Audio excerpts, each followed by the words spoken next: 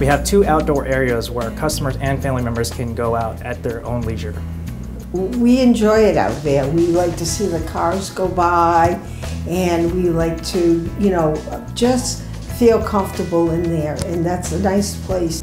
We play cards, we play um, 500 rummy or um, we sometimes just um, read.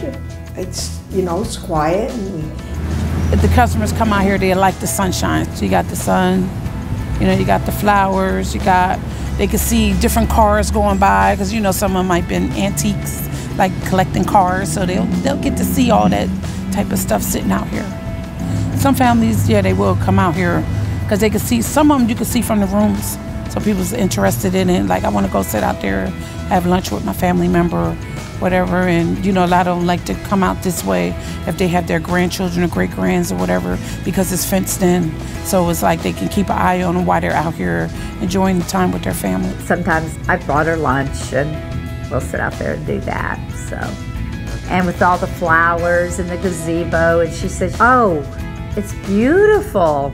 I love the fact that I can take her out of the building and I can walk her around the block so that she gets fresh air that way, that I can take her out of the building um, in the front and that they've put up a brand new canopy section and her birthday was a couple of weeks ago so we brought in food uh, with my husband, grandson and daughter and we ate out underneath the canopy and celebrated her birthday out there. That was a very nice uh, aspect of not having to take her out in the car um, but able to celebrate here. And I think it's beautiful the way they keep it up and the flowers, and she enjoys looking at the flowers. And, and we all go out there and we enjoy each other's company.